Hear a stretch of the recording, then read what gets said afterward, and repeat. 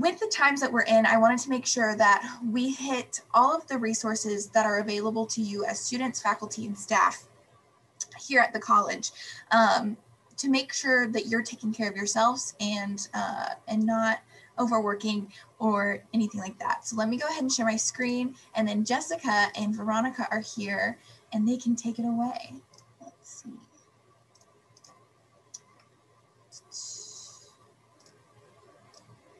Okay, y'all have the floor. Thank you. Good morning, everyone. How are you all doing?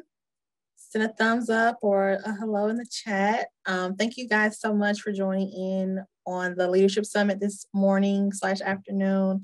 Uh, we appreciate you guys taking the time out of your day to be here and learning about all the wonderful programs and things that we're doing here at PSC, but also learning about what we do as an, uh, an office um, and related to our wellness services. So um, going to the next slide here. Um, my name is Jessica Johnson, and I have the pleasure of serving as wellness case manager here at PSC. I've been at PSC for a total of five years. Um, I started my journey here at PSC as an AmeriCorps member, where I did volunteer management and financial literacy. And then I had the pleasure of coming in as a full time staff member um, under our OVW grant, which addresses sexual assault and relationship violence prevention. And then I um, moved into my current position as case manager. Um, but in my kind of portfolio, I have a lot of nonprofit partnerships, uh, working with our on campus and off campus resources. And so all of those things and all those different experiences have helped me to um, essentially do what I'm doing in my job now. So, which is really important. And we'll talk more about what I do as a case manager, but having those outside resources and just that experience really does help to help us our, help our students navigate through um, the challenges and the things that they're going um, through during our time here. And then I'm going to turn it over to my co-host, Ms. Veronica. Good morning, everyone. I am Veronica Jennings. I am the project coordinator for sexual assault and relationship violence prevention. I know that is a mouthful. So for short, I just say relationship violence prevention coordinator. And that's still kind of long. But I've been at PSC for three years. Um, I first came to the college um, and got my first set of experience in academic advising, where I have met some of you all and some students that have gone on.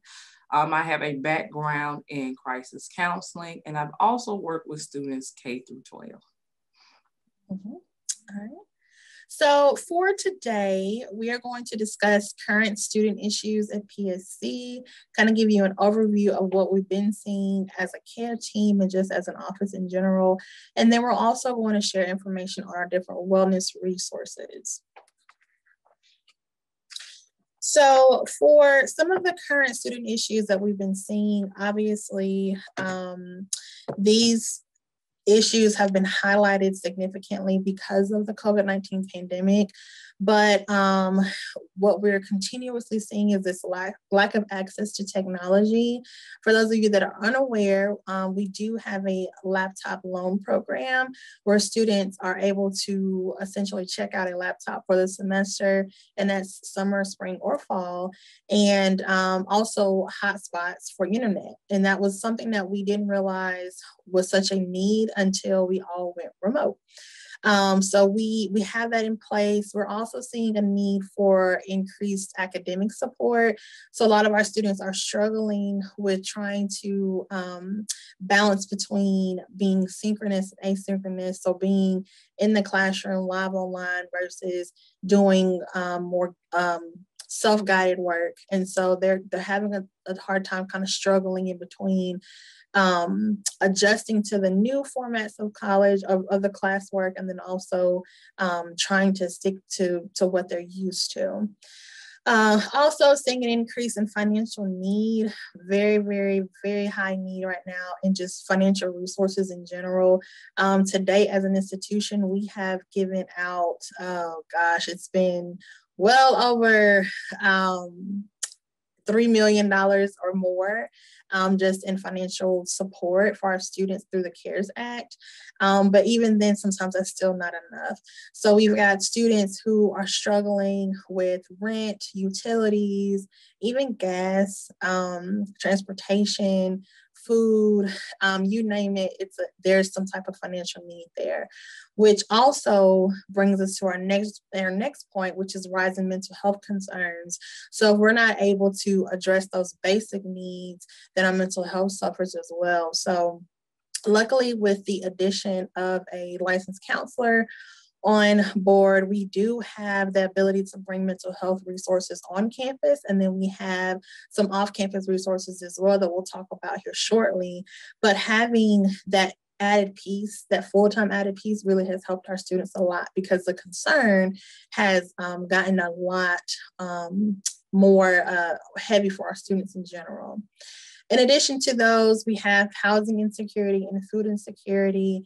Um, if any of you have been watching the news or listening to any just kind of conversations in general, um, the housing market right now is great for sellers, but terrible for renters, um, or even those who are looking to buy at this time. So we have a lot of students who cannot afford rent or who are having to vacate their homes because their homes are being sold by their landlords essentially.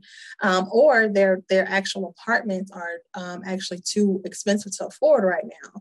So um, we have a lot of students who are unfortunately couch surfing um, or living in their cars or living with friends and family um, in in conditions that are not always conducive to the proper nurturing environment that they need. And their food insecurity is a huge issue right now. Um, luckily for us, we have wonderful support from our faculty, staff, and our students who are providing food in donation form to our food pantries. And we do have food pantries on every PSC location. So having that has been a huge blessing for our students, and it has definitely been a much utilized resource. Um, we had almost 200 bags um, given out uh, by the end of February this semester, and then we stopped counting. So um, it's just a continued need. And it really does speak to the fact that our students are coming to PSC for help and they need support, but then they're also struggling through just kind of being involved in the classroom because they're hungry or they've got all these other issues compounded on top of them. And then, of course, just general concern about health and safety. Um, one thing that COVID has done is reshaped a lot of our thinking on um, just safety and health in general. Um, so we have a lot of students who are concerned about their own public safety and, and their own health as it relates to not contracting COVID or, or spreading it. But then they also are dealing as caretakers for their other family members who are high risk and are, you know, worried about, you know, passing on the virus to someone else. And so we've seen over the past year a lot of um, anxiety around that. And so we've been working with students through counseling and um, just in general conversations to kind of help alleviate some of those um, those anxieties behind that.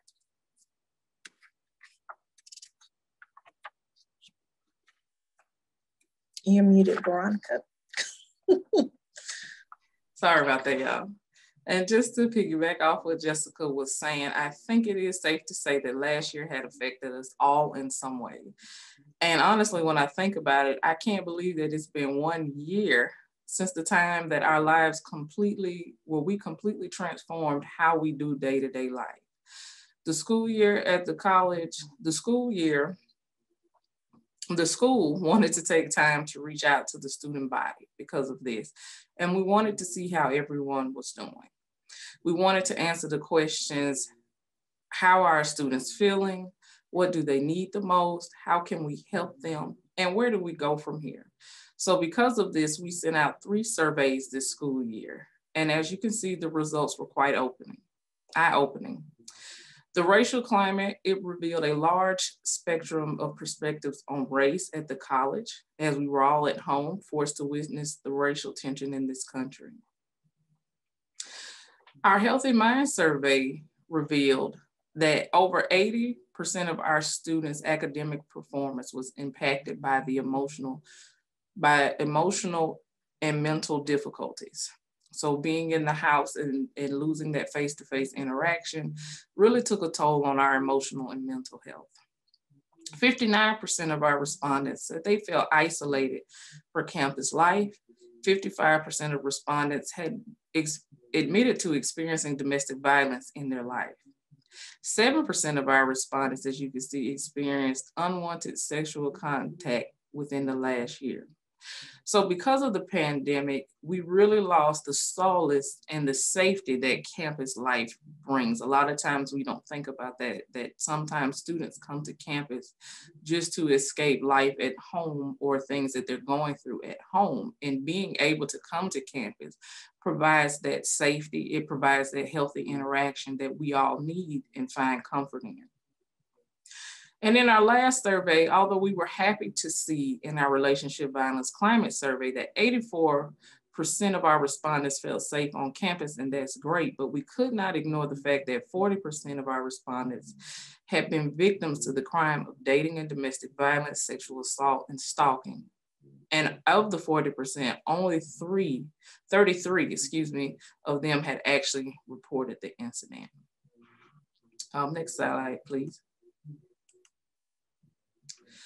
So here's the approach that we took to the data findings and the current issues that our students face.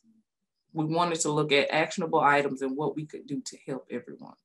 So first we established our Pirates Cares team. The Pirates Cares team is a support team that consists of faculty and staff who come together weekly and address the needs of our students. And we connect them with the resources that they need to be success to be successful. Staff, faculty, and students can reach out to our team, to the Pirates Cares team, anytime via the PSC website, and we will have that information for you later on in the presentation. We also wanted to make sure that we were making a concerted effort to engage with our students and let them know that they have a community of care that sees them as a whole student. So we participate in calling campaigns and texting check-ins just to see how our students are doing and to assess any needs that they may have. We've also beefed up our training for our faculty and staff with things like our gatekeeper training. We have currently have several faculty and staff trained to keep um, to teach this course. That's our suicide prevention, our mental health first aid. Um, we have partnered with victim service. We have partnered, created partnerships in the community, so we're all able to offer victim services resources. Mm-hmm. We have our Pirates Cares team panels where we go out and we talk about what we do as a Pirate Cares team and let you meet the members. Mm-hmm. We also have resource panels and shameless plug, you'll be able to meet some of our community partners next Thursday at 2.30 p.m. at our virtual community partner meet and greet. And here with that, and with that meeting, greet, what we aim to do is allow students, faculty, and staff to connect with our community partners and actually see what our re what resources are available to you all and how you can access them. And of course, our referral system, we have a Maxient system that if you're having a concern or if you have a need, faculty, students, and staff, they can go to the Maxient system and we will let you all know that as well, where you can find that as well. But you can go to that Maxient system and you can um, fill out a form and let us know if you have a student of concern um, or a student that may have a need, or if you have a need yourself, you can fill out that form the and one of our Pirates Cares team members will reach out to you. So here we just wanted to kind of show you what our different areas look like from a branding perspective. Um, if you've noticed any of our um, flyers around campus or on um, listservs and email or on Facebook, we now are branded. So what you're seeing here is kind of our main Pirates Care logo, and then all of the different areas that kind of fall under Pirates Care. So we do offer suicide prevention in the form of gatekeeper training. So if you have gone through gatekeeper training, put something in the chat to let us know that you've done it, and then encourage somebody else to do it as well. We've got some dates coming up here for the summer term um, that we're going to get out to the college-wide to invite faculty, staff, and students to come on board for that. We also have our mental health awareness, which is one of our newer initiatives that we're going to talk about on the next slide, um, where you can learn more about referring students to our on campus counselor and then all some of our off campus resources as well. And then we have sexual assault, stalking, and relationship violence prevention, which Miss Veronica is the, the guru for, and she has done a wonderful job with kind of keeping that program going and, and, and giving it the life that it has today. And then we have the food pantry, which kind of is nestled underneath my responsibilities as case manager. And like I said before, we do have food pantries on all of our PSC campuses and centers. And finally, we have our academic integrity piece where we're not looking to punish students um, and, and just kind of throw them off to the side. We really want to try to educate them on why academic integrity is important, is necessary at the collegiate level, and what we can be doing to make sure that they're getting the best that they need out of their edu- their academic profiles while they're here. So for our mental health initiative, the picture you see here is Ms. Brittany Clark and Dr. Rudy is what we have affect affectionately called him. Brittany is our newest um, mental health counselor. We do, we so in the slide we have two because we are actually in the process of doing interviews for a new counselor, which will hopefully start very, very soon. Um, so having one counselor who's been here for about a year and is very familiar with the campus and very familiar with our students' needs. And then having an additional person to come in and kind of split the load between them two is going to be phenomenal. So, right now, um, Brittany's caseload is actually pretty high considering that she's the only one counselor on campus. So being able to kind of split that in half and be a little more strategic in our approaches to mental health um, resources for our students is going to be great. Um, Dr. Rudy is our in-house uh, doc- doctor. Um, and so he is actually a um, more or less a uh, facility dog. And so during counseling sessions, students have the option to sit with him. A lot of times they just want to sit with him and, you know, get to Brittany later. And that's perfectly fine.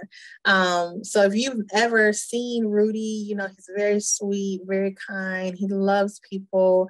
Um, and he, you've probably seen him around campus. He's giving out treats all the time. And he also likes treats too. He loves carrots. So if you see him, get him a carrot.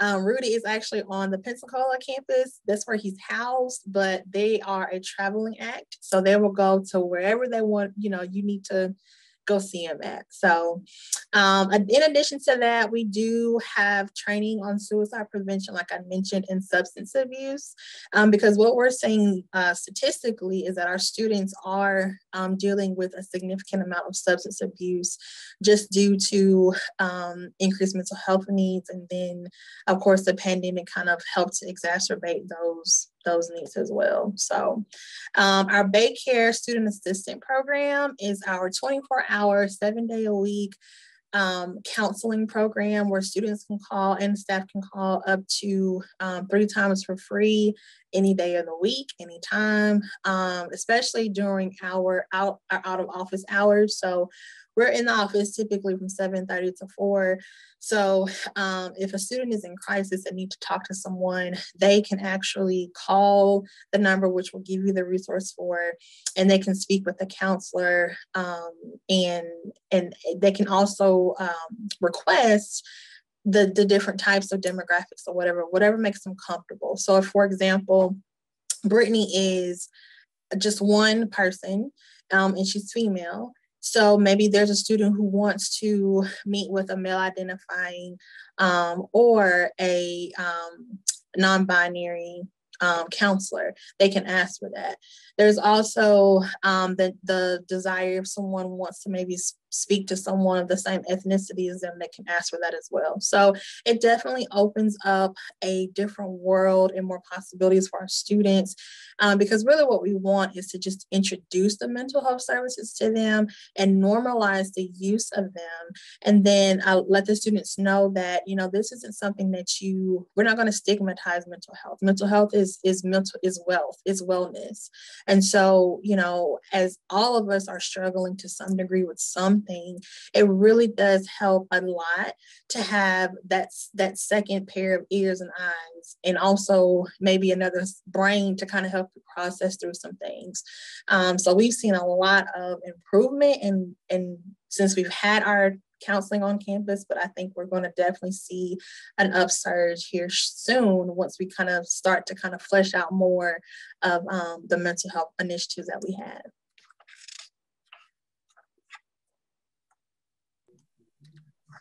I love that. And um, just to piggyback a little bit off what Jessica said, I like to think of mental health just like just like we have physical health.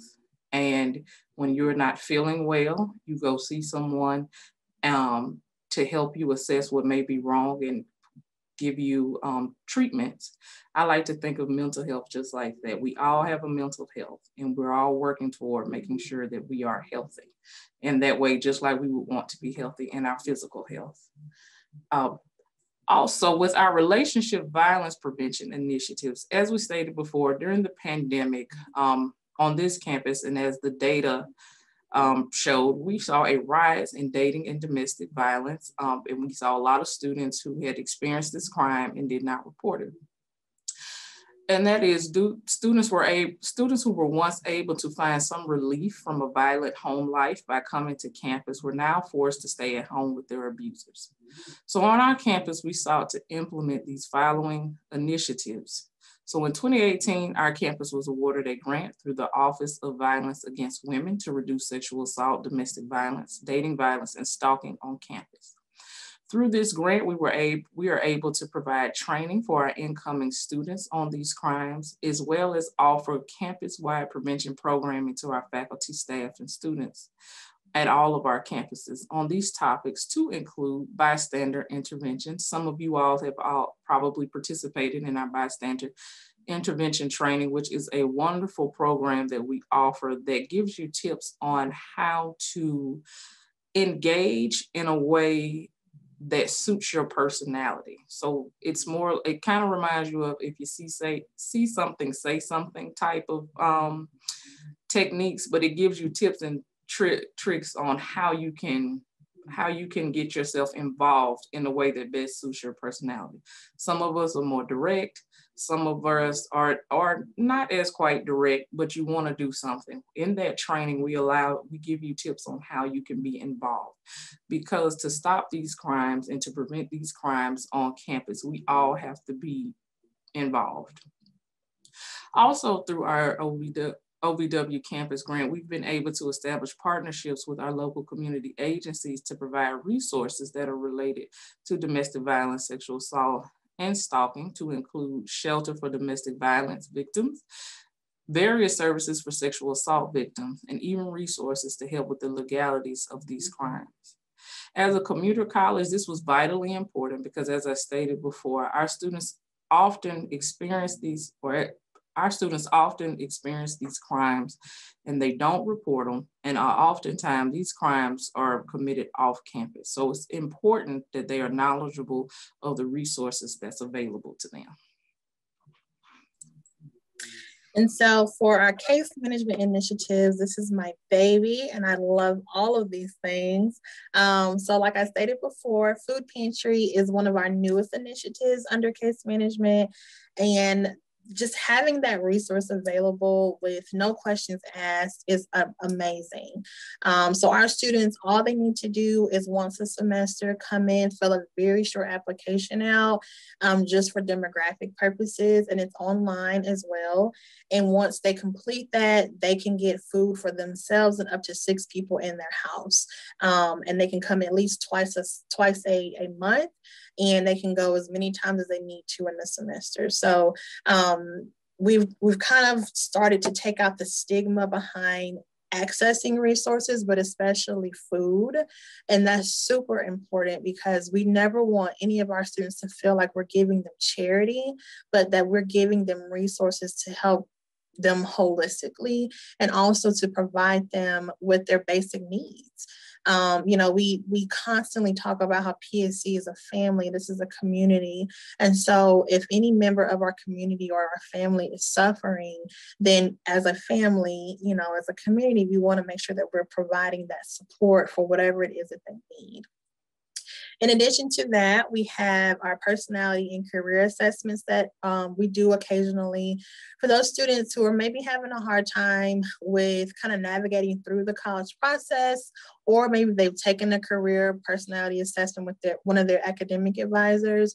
And so they can come here to kind of get some deep dive um, resources. I'm always offering, you know, reading suggestions, books, whatever it is that I can give, just so that the students can kind of get more information out of what they either knew already or found to be new and true and different for them.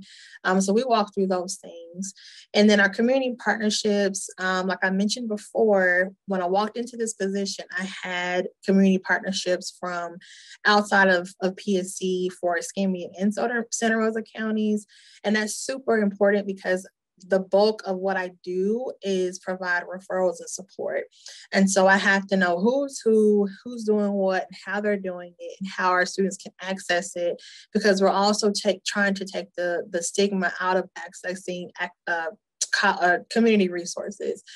So, um, because that can look very um, frustrating for the students, you know, you call this generic number, you might talk to someone, you might not, um, but having a actual referral system and actually having someone to talk to who's actually looking for a PSC student to call their resource and they can help them walk through it has really been helpful. So um, now that uh, some of the COVID restrictions are lifting and we're able to kind of be a little more um, mobile. We're going to increase those partnerships even more, um, which I'm very, very excited about. And then also bring them on campus as well.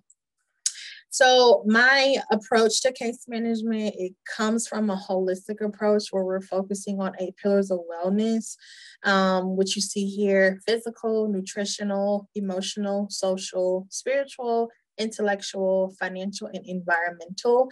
Um, and so, really, these are things where I talk to students um, about just a general what's in your toolbox already and what do you kind of need additional support for.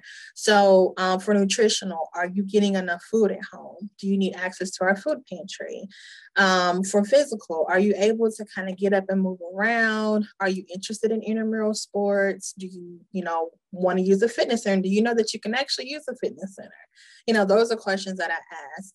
For emotional and social, um, you know, who who do you have on your team? Who's your cheerleaders? Who are your what's your support system? Are you, you know, tapping into maybe mental health services? Um, do you have a therapist? Are you open to therapy? Those sorts of things. Spiritual, um, for some of our students, it looks very just kind of, you know, what are your your your values? What are your your goals? What do you want out of life? What does that look like for you? Um, what keeps you grounded? Intellectual, um, are you, you know, being stimulated in the classroom? Are you bored? If you are, okay, well then maybe we take you back to, you know, your advisor. You guys can kind of talk through some different resources and some different um, alternative routes for you. Um, you know, empowering the student to advocate on the on their behalf is super important here. And then financial um, do you have the basic needs that you that you need? Um, can you afford basic things? You know are you in a position where you are um, making enough money to sustain yourself? And if you have a family your family. Super important. We have a lot of um, students in just our community overall who are um, job deficient they're financial deficient so they're making just barely enough to get by but they're not thriving. And so, um, you know, that special type of population where they may not qualify for governmental assistance, but they also are, are just barely making enough to get by. That's a very tough um, and vulnerable population because the help and the needs for them are just a little, they're the same as everyone else, but the actual resources available to them is very slim. And then environmental, um, what's your housing situation look like? Are you safe where you are? Is your neighborhood safe? You know, if you have children, do you feel like your children are in an, in an area, an environment that is conducive to their growth and their learning? So, um, you know, all of these pillars we're looking to see because these are things that if one is not as as um, fulfilled as another there, there, there are huge deficiencies that will show up in the classroom, they'll show up in their relationships, um, and they can be very, very difficult. Um, and so we're trying to balance to see, or really more so, not even balance. I would say I like to use harmony because there's nothing that we do where everything gets 100%. There's some things that are going to be a little more, um, for our attention. And there are going to be some things that are just a little less, just depending on the season that we're in. So um, just kind of having that harmony is what is what we try to try to strive for. And then for occupational wellness, this is kind of something that we are starting to think more strategically about. Um, so employment and career readiness. So are you aware that we have a CTE program? Do you, you know, have you utilized the job skills that they they're offering, the interviewing skills that they're offering? You know, what does that look like? So those are conversations that we're having because our students are graduating, but then they may not necessarily be ready for the real world or for a for a position, you know, working somewhere in a little more of a professional environment. Um, or they are going on to a trade and yet they're they all they've been doing for you know a year or two is just academic work. So um, you know we try to work with them to get them professional clothing to get them connected to community resources that assist with that um, talking about you know the things to wear and what not to wear um, just how to conduct yourselves in a, in a meeting business setting. So these are all things that really help to set the student up again for success and um, additional, what I do in case management is partner with offices on campus. So um, I try to, you know, pop my head in and have relationships with financial aid, our TRIO programs, um, CTE, our wellness um, program, even though they're in our office, but still, that, that's their own little baby. Um, I try to, you know, have relationships even with our public safety uh, office as well because um, if there is a student in distress or there's a student that may need you know transport to lakeview or whatever the case is like i want to be able to to assist in that way but then also know you know that our public safety knows me and, and knows the, the situation so that we can give the student the best possible outcome. So um, partnerships partnerships partnerships. That is kind of like the the the center of the case management initiatives that we have. And that kind of helps make everything else that i do in case management flow a little bit better. I think this is you veronica. I'm sorry about that. So here's some important information we feel students faculty and staff should have. We want to encourage you to either take a picture of this slide or store some of this information in your devices so the first bullet point is the information to our own campus counseling. Um, you can use this information to establish counseling services that would occur during office hours. So now our next two points and the last point um, are all services that can be utilized outside of our office hours. Again, we have Baycare. That is a resource that allows our students to have 24 hour access to counseling services. You can access this service by calling the number that is listed. The Together All platform is a company that we have re recently partnered with that also allows you to have 24 hour access to anonymous peer-to-peer -peer support. And through the support of the community, self-assessments, recommended resources, and a wide range of self-guided courses, students, faculty, and staff are able to safely express how you're feeling and have the tools that you need to get through any difficulties that you may be facing. You can access the Together All platform by going to the website, www.togetherall.com, and make sure that you register with your PSC email.